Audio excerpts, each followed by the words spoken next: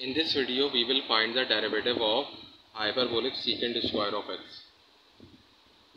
So first we will differentiate both sides with respect to x. So we have dy by dx is equal to dy by dx of hyperbolic secant square of x and this can be written as hyperbolic sec x whole square. Now let u is equal to hyperbolic sec square so we have dy by dx is equal to dy dx of u square. Now we will apply the power rule of differentiation which is d by dx of x to the power n is equal to n times x to the power n minus 1. But we can apply this formula over here when these variables are same. So we will apply chain rule and we will write d by du of u square multiplied by du by dx. Now we can apply the chain rule.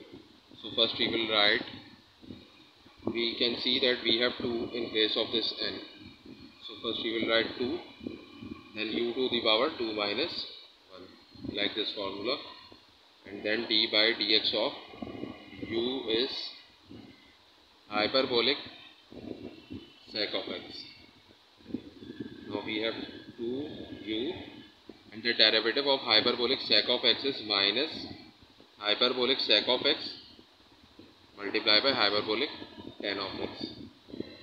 And now we put the value of u over here. So we have minus 2. 2 multiplied by this minus is minus 2.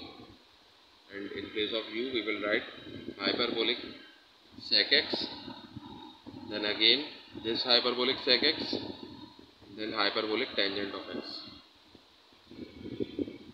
So the answer is 2 times hyperbolic sec square x hyperbolic tangent of x.